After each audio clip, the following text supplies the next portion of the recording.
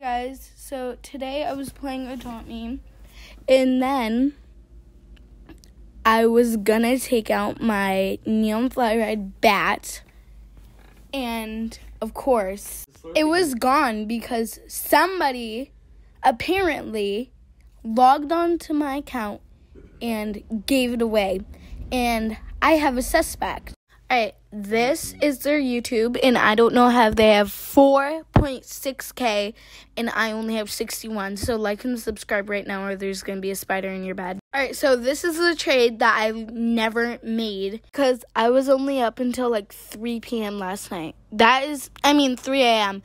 That is not late at all. This is their tradery, and don't trust them. If they give you a link, don't click on it because no, in their YouTube, in the comments, there's a link to their Roblox profile.